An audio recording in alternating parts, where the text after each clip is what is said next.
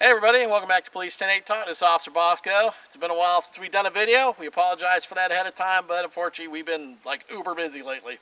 Uh, today I'm going to do a quick uh, video on a new light that's actually not new, but uh, it's new to me. I actually just uh, uh, got me one a couple weeks ago.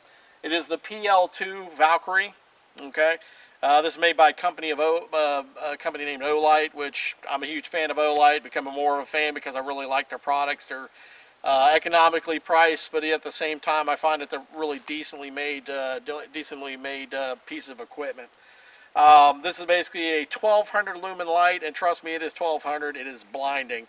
Um, it runs off of two CR123A batteries uh, instead of the uh, like the uh, TLR one, which has kind of the twist, the twist activation. This one actually has the paddles, which is similar to, to the Surefires uh, where you push that in, push these in on either side, it'll turn it on or off.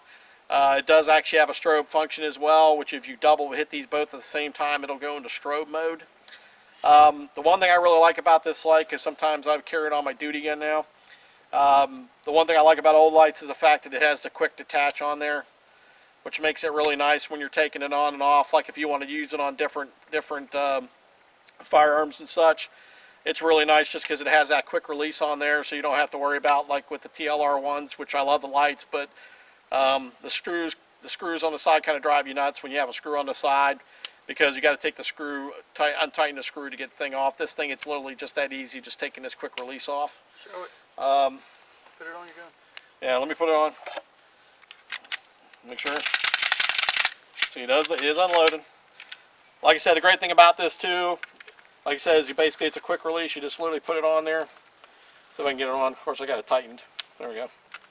Take that off, slap it on, and literally now it's on there. And it's tight. Um, it does come with two inserts on it. It comes with a pick one uh, for Picatinny rails, which is what I have on there now because my Smith & Wesson M&P45C has a pick rail on it. Uh, it also comes with an insert for the Glock as well. Um, the Glock will actually work on a pick rail, but sometimes it may be a little bit loose the pick rail will only work, the Picatinny insert will only work on a Picatinny rail. Um, so if you're mounting it on like a long gun or something, you're probably going to have to put the Picatinny rail uh, insert on there or else it's going to be loose. But you can see that thing's rock solid on there. Um, like I said, it's 1200 lumens. It takes two uh, CRL 123A batteries. Uh, it is also waterproof as well. And let me read some of the specs to you real quick. Here's a real quick comparison to another light that we did a long time ago. You can see the, it's a big difference between the uh, mini Valkyrie and the full-size PL2 Valkyrie.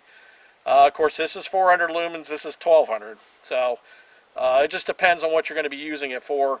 Uh, but as you can see, I mean, there's two quality-made lights, of course. Uh, this has a recharging system. Like I said, this takes aftermarket batteries, uh, which I wish it had the charging system like the PL Mini has as well. Um, let me read you a couple of stats off the box. Here's the fancy box. It comes the typical Olight box. Everything comes in these style boxes. Officer Joel knows. Um, the total it's 71.5 minutes. Uh, the throw is 235 meters. The throw is insane on this thing. I mean, it literally, we were lighting up trees near his department one night just trying to see how far the throw was, and it was literally, I'd say, good 100 plus yards you could see plain oh, as day. Yeah, yeah easy. Um, it is water resistant. It does have a Cree LED, uh, which the great thing about the LEDs is they don't blow out like the old uh, incandescent lights and all that stuff. So the LEDs tend to are, are, really just I think the greatest thing since sliced bread, other than of course the tasers in law enforcement. Um, now it does. Um, the weight is 2.82 ounces. Okay, that's excluding the batteries. Um, like I said, it uh, has a Cree LED. It is waterproof. I believe it's to 50 meters. It's not saying on here, but I think it's to 50 meters. Now, will that um, light fit in your Blackhawk Epic holster? No, it will not. It will only. This will only fit in my ALS holster. It won't fit in my black. It won't fit in my Blackhawk. Um, uh, but like I said, it's a it's a great great light, especially for the money. I think I got mine for around hundred ish, hundred ten ish dollars. Uh, considering that the equivalent Surefire X300 would run you about 300, 250 at least. So, I mean, I could buy three of these for the cost of the Surefire, and whether or not these would stand up as good as the Surefires, I don't know. Uh, I uh, just got the light. So far, it's been actually been uh, holding up really good. Uh, but over time, for the money, I like the Olights because, like I said, they make a good product. It's very inexpensive. Uh, their warranty is pretty decent as well. Um, so anyways, if you get a chance, pick up the Olight Valkyrie PL, PL2. This is the newer one. 1200 lumen light when you get a chance and go check out Olight's um, website. They got a ton of flashlights on there and they're really spectacular. I've got like three or four of their flashlights so I can definitely sing the praises of uh, Olight if you get a chance.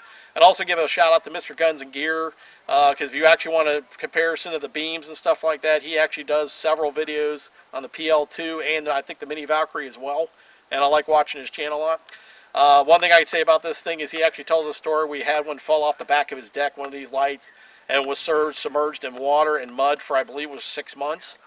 He happened to find it when the water receded one day, put two new batteries in it, and it worked perfectly fine. So that's that's not a testament for these lights. I don't know what is, but get a chance, wa- check out his videos as well. Anyways, this is Officer Bosco. Thanks for coming to Police Tank Talk, and remember, click and subscribe, and remember to be safe and watch your six.